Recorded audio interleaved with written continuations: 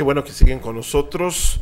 Qué bueno que eh, se quedaron precisamente con nosotros. Bueno, decíamos entonces, el Puebla logra un triunfo importante ayer en Celaya que le permite tomar la punta de su grupo. Ocho goles a favor, uno en contra para una diferencia de más siete, siete unidades. Dos triunfos más el punto adicional lo ponen al frente de este, de este pelotón. Sí, y bueno, ayer tuvimos la oportunidad de estar eh, en el estadio nuevamente de los Lobos. Gran entrada. Una vez más, eh, el público terminó llenando el escenario porque también vale la pena señalar, Pablito, que el partido a las 9 de la noche no comenzó con estadio lleno. Eh, Había una buena entrada, pero en el transcurso del primer tiempo la gente fue llegando, fue llegando. Para la parte complementaria ya teníamos un estadio pletórico.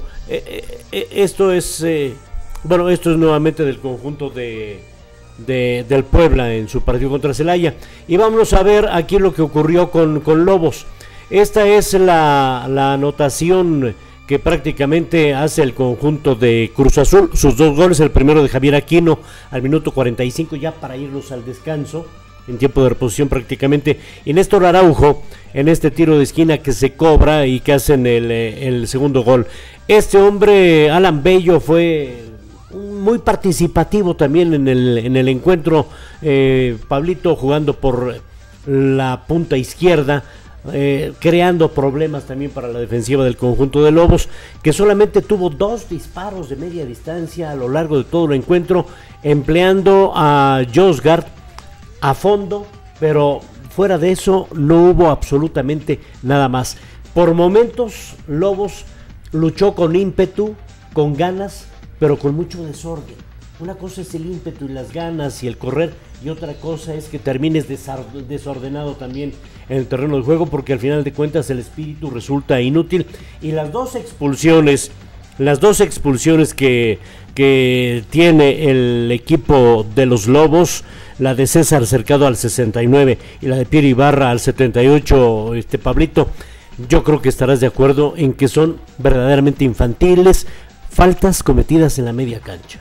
Sí, bueno, yo lo que aprecio y mira que, hemos seguido de cerca la, la temporada del equipo de Lobos desde, eh, ya no es la primera vez, se ha transmitido el conjunto de los Lobos de- desde hace mucho tiempo en la radio y lo hemos seguido, lo hemos acompañado tanto en el torneo de liga como en el torneo de copa. Me parece que este es uno de los peores partidos que le he visto al conjunto universitario, sobre todo en este, en este escenario, la cancha del Estadio Olímpico. Para mí hay varios puntos de análisis. Yo me sigo preguntando y la pregunta queda abierta, ¿eh?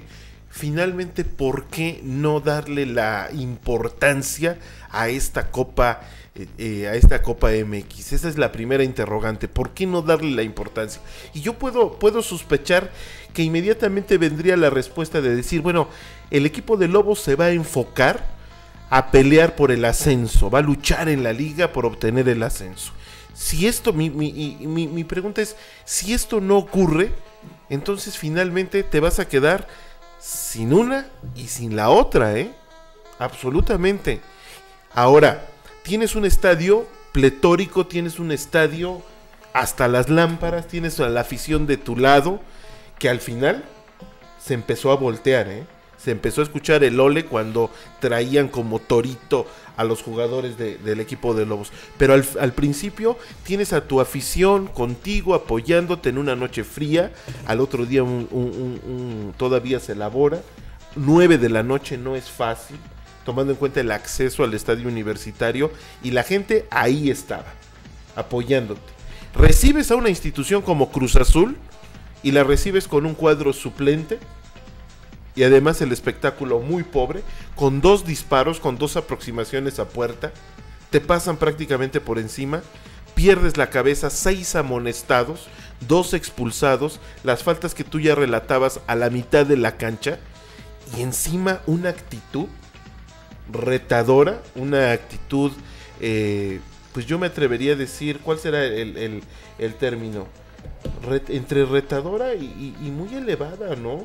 La, última falta, la última falta, ya cuando el minuto 90, 91 transcurría sobre Alférez, yo no dudo que haya habido falta, ¿eh? Hay, un, hay una situación de, que le, dan un puntapié, cae, pero verdaderamente lo teníamos enfrente del palco de transmisiones. Bueno, ¿qué le habían amputado en ese momento la pierna? Una verdadera actuación fenomenal. Por acá pita el árbitro y se levanta con una frescura Claro, por supuesto, se va y le hace dos recortes de manga que habrá que revisar la cédula arbitral. Muy mala actitud. Yo ayer vi una mala actitud. Sí, fíjate que incluso en el desarrollo del partido, recordarás, Pablito, que el árbitro Roberto Ríos Jacome saca dos tarjetas amarillas.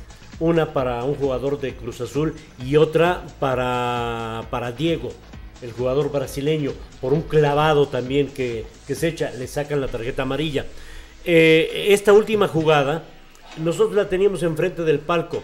Es cierto, a Alférez le dieron por ahí dos, tres llegues en todo el partido. Si mal no recuerdo, como tres llegues y fuertes. Tenía razón en protestar, pero el problema de Alférez es que protesta todas, todas completamente. Y normalmente siempre termina en el suelo. ¿Qué es lo que ocurre? Que el árbitro ya no le cree. Y al final de cuentas, lo que sucede en esta, en esta última jugada es que Alférez sí recibe una falta, una falta fuerte. El árbitro termina el partido y Alférez se levanta y se va caminando como si nada.